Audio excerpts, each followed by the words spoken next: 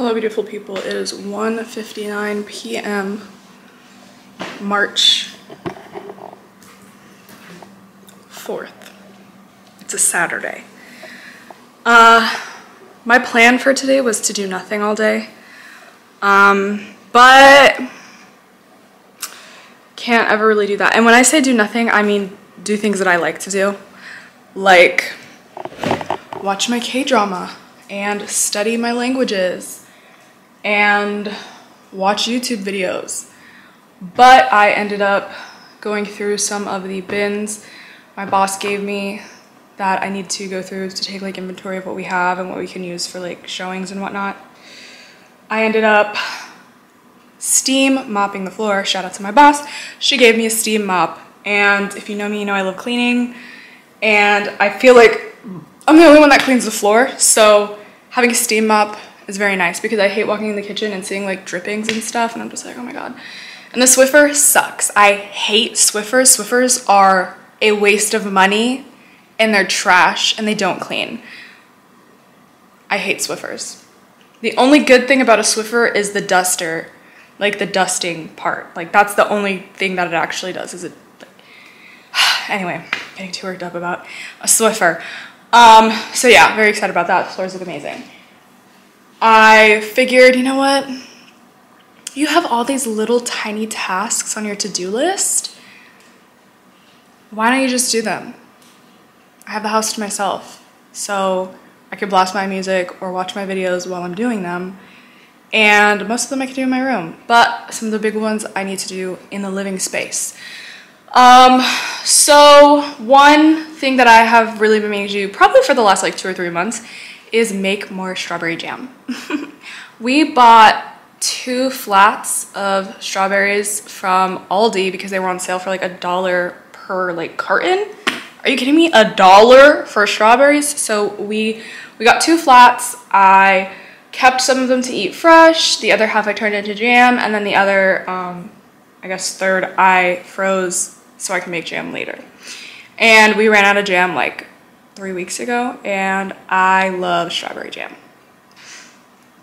It's an easy snack to put on things, and I like making things from scratch. So I just took those out to thaw. I should have thought about it earlier and took them out this morning or last night, but I really didn't think about it, so it's fine. They'll thaw, and then once they're like mostly thawed, I can go ahead and put them in the pot. They can boil down, I could crush them, it's all good. Another thing I've been wanting to do is clean the vacuum chamber. My dad will use the dry vacuum like the shark vacuum and he'll just like vacuum up wet things. And it drives me crazy because we literally have a wet dry vac meant to clean up wet things. So it gets all gunky on the inside and it looks disgusting. And it needs to be cleaned so i'm gonna clean it. What else? Oh i need to make those cotton rounds because I've been thinking about it and wanting to do it and every time I'm in that step of my skincare routine because I do skin cycling so it's four days so like the first day is a hyaluronic acid. Hyaluronic acid? It's an AHA or BHA like one of those like liquid exfoliants. And every time I get to that day I'm like damn I really wish I had those cotton rounds. So I have one more day so tomorrow is when I'll need the cotton rounds so I should do them today um, or tomorrow during the day. Um, so yeah, I really want to make those. I also want to patch up this quilt that I've had my whole life and then dye it green. But first I want to patch it up so that when I dye it, the patches are also green. Um, it would look cute if they were different, but that's not the vibe I'm going for. I want to go like monochrome patch work sort of thing. And I love that quilt. It was my grandma's. It reminds me of my grandma, so I want to keep it. But I want to give it a new life because I accidentally dyed it purple because I washed it with my towels that are purple. And every time we wash them, I feel like they should be done bleeding by now, but they're not. So I actually have to like separate my laundry, which I like never do. Um, I normally do separate the towels, but like we also have like non purple or black towels. So I have to separate those. It's a whole thing. Anyway, that's what's on my list. I also also want to patch up a shirt that is my boyfriend's that got a rip in it and we don't know how it got there. And it's been like eight months since it happened and I told him I'd fix it and I've tried to fix it multiple times but it's just not working. So I'm thinking of like doing a different method. But anyway, there's just a it's all just like little things that I've been wanting to do and they're just like adding up. So I want to get them done. So the first thing I'm going to do is clean the vacuum because it has to dry and it has to dry completely. And if it doesn't dry completely, it'll get all gunky like it is now. So I want to do that ASAP. It is 2.05 and we're gonna do that in the laundry room. So see you in there. This is the vacuum in question. That's repulsive. It's empty. I emptied it. I put my hand in here and got all the fur out. So this is just stuff stuck to the walls. It's so nasty, bro, and I hate it. Um, I'm just gonna clean this little food bowl. We don't actually use the bowl. We use the little insert that went into the bowl. So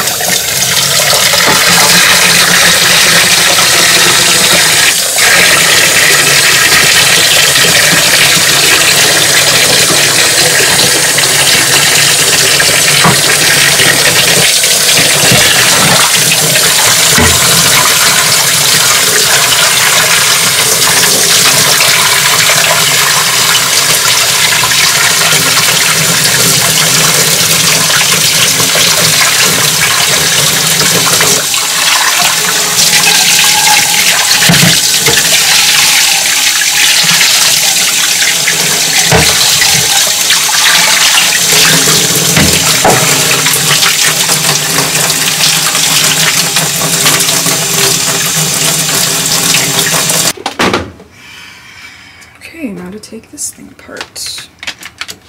Pretty sure. Yep.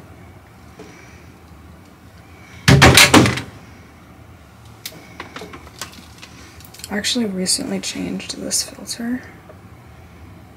What is that, bro?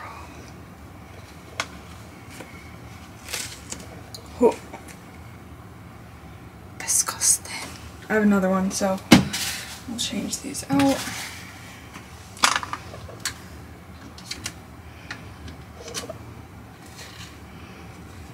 Ew, even,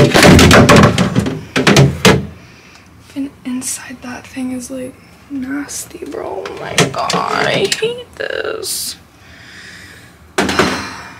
okay.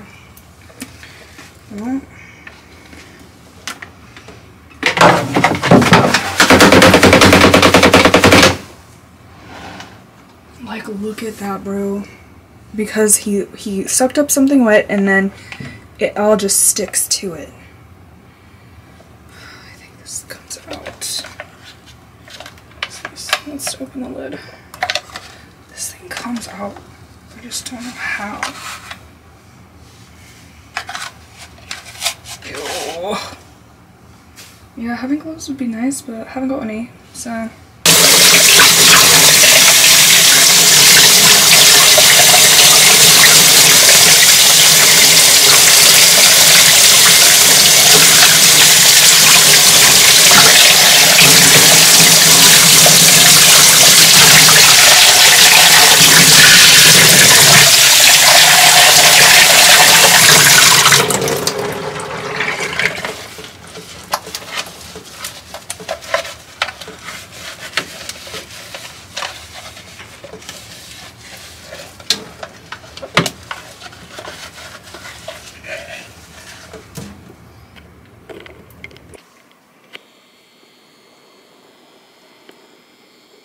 One basically done.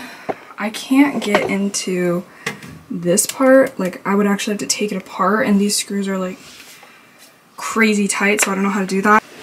Okay, so these are the leggings that I'm going to use. They were my mother's from Lululemon and they're ugly.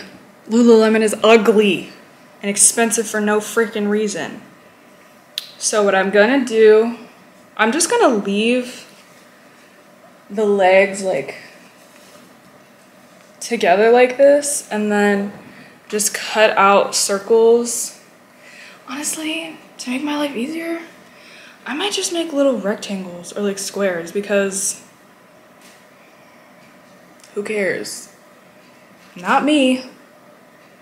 I just need them to get my face with my skincare. So, but I'm gonna leave them like this because I want them to be double, double-sided, double-walled. I want them to be a little bit on the thicker side. And I think this double layer is like perfect.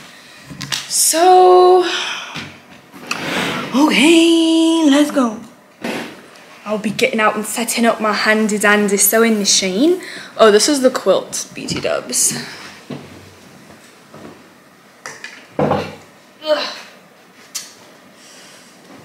I think it's called like wedding ring quilt or whatever. And as you can see, there are many holes in it. I think it's from our old dryer. But yeah, so I actually need to get the material I'm gonna use to patch these up as well. But I might not do this today because it's a little bit of a bigger, a little bit of a bigger project. But, let's go ahead and set up this here sewing machine. She's been through a lot. Like, one time I accidentally, like, tripped over the cord and this fell off the table. It still works, but the light doesn't work, which is kind of annoying, but like, I'm, it's fine. It's annoying, but it's fine.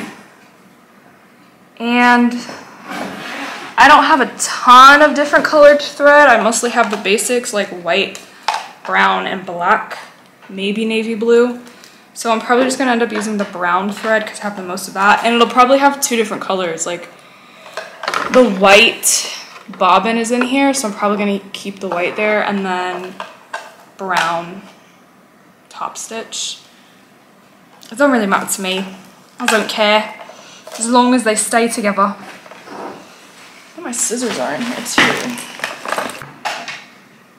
I don't sew often. And when I do sew, I never do it at the table. I always do it sitting crisscross applesauce on the floor.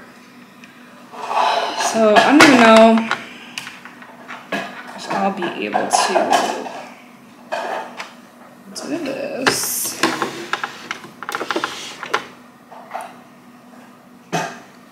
Let's set her up, shall we?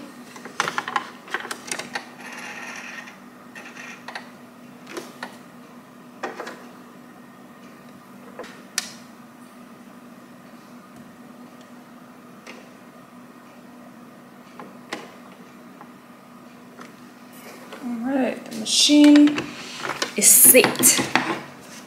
I'm literally just gonna do squares. So when I've seen other people do this, they literally just like they cut it out and then they just like do the border. I've never done that. So Let's just do a test, okay? And then I'm gonna cut it in half because it's kind of big in my opinion.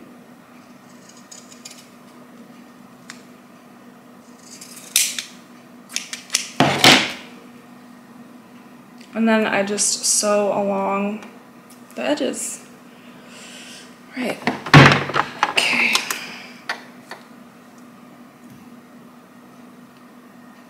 Know why I got the pins out. I, I guess I don't really need the pins.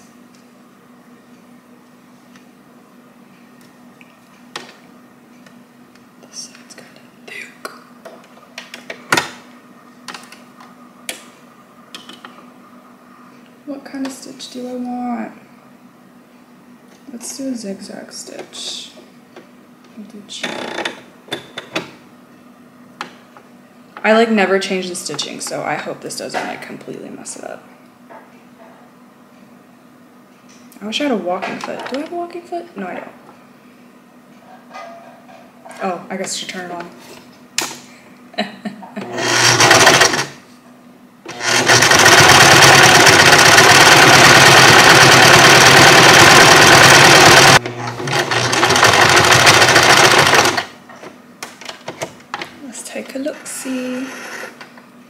Let's guys. But this is kind of ugly, I'm not gonna lie. Like, how do I make it look cute? You know what I mean?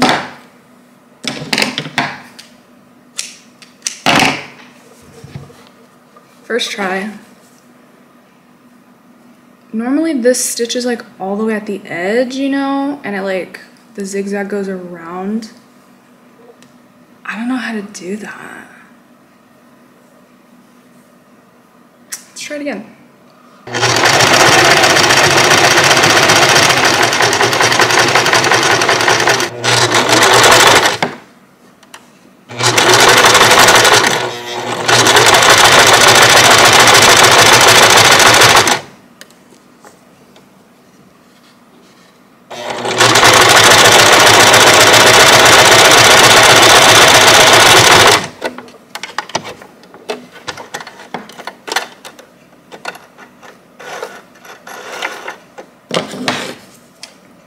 know what the hell is going on here.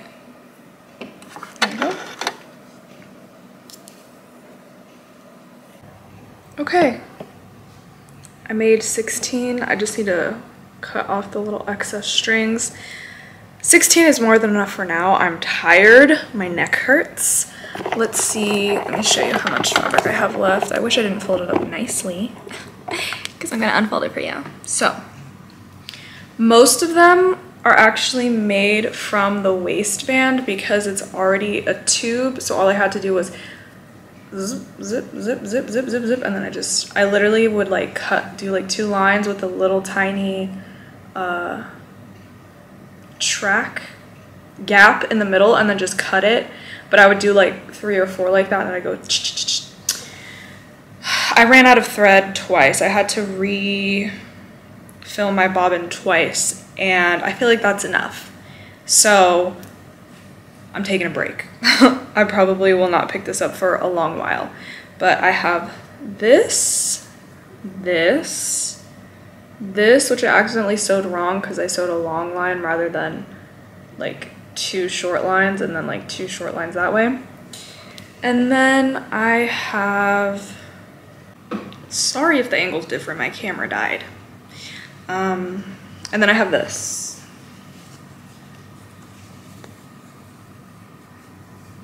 So I got through one leg and the waistband and I got 16. So I think I'm good for now. I think when I pick this up again, I'm gonna try to do the circles and make them look nice. But for right now, these ugly little rectangles will absolutely do the trick. So I'm not worried about it. And it's a nice little, little tiny bit of fabric. I'm going to check the strawberries. I'm gonna clean this up and then I'm gonna check to see how frozen the strawberries are. Look, I went through this amount of thread. I've, I've, I finished one of the bobbins. I finished the white bobbin and then I was using black, like a I finished the white bobbin and then I used a black bobbin that was already spun. And then I was, so it was black and white. And then the white on the top ran out. So then I replaced it with a black thread. So then I was using black and black. And then the bobbin ran out of black. So I just rethreaded it with the same black thread that was on the top. And I have another black spool so whenever I start up again, it'll be black and black. It's crazy. Um, when you really sew in like that for real, you go through a lot of thread. I didn't realize how much thread is used. But yeah, that's it.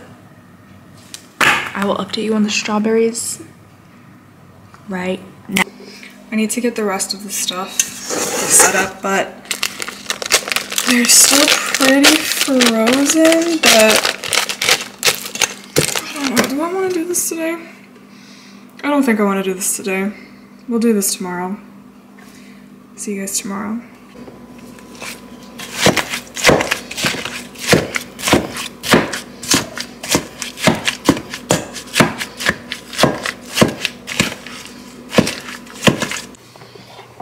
Doesn't it smell so good? Yes.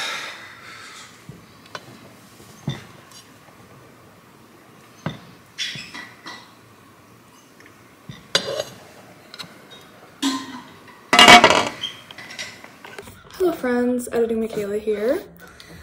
I wanted to update you on the jam. So I ended up getting four and a half pints, but unfortunately the jam did not set.